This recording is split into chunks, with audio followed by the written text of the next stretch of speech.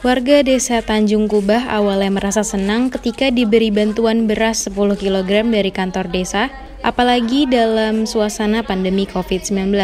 Namun, kesenangan warga sirna ketika beras dimasak oleh warga. Nasinya berbau busuk dan berwarna kuning. Warga desa yang rata-rata ibu rumah tangga menggeruduk kantor balai desa Tanjung Kubah untuk mengembalikan dan menolak beras yang tidak layak konsumsi.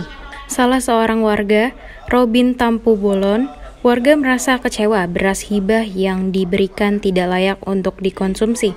Ketika dimasak, nasinya berwarna kuning dan berbau busuk. Seorang ibu rumah tangga, Warsini mengatakan, ada 30 orang warga yang belum mengembalikan dan ratusan lagi belum mengambil jatah beras karena bau busuk dan nasinya keras. Camat Kecamatan Air Putih, Haidir Lubis, mengatakan, Pemerintah desa dan kecamatan siap membantu warga yang keberatan menerima beras hibah dari Dinas Sosial Kabupaten Batubara. Beras yang tidak layak konsumsi segera dikembalikan kepada Dinas Sosial.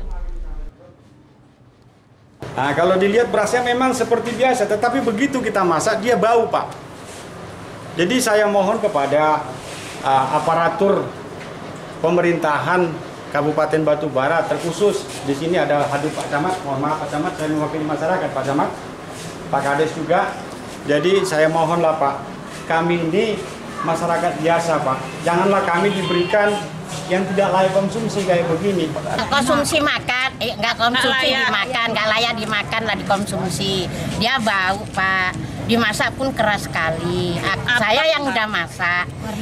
Cucu saya aja nggak mau makannya sampai satu hari semalam. Oke, kami uh, menerima laporan dari masyarakat, beberapa dari masyarakat, perwakilan dari Tanjung Kubah mengenai beras yang tidak layak makan dan berbau menurut masyarakat. Jadi kami selaku pihak kecamatan dan pihak desa itu kan kami mendapat beras dari hibah dari dinas sosial.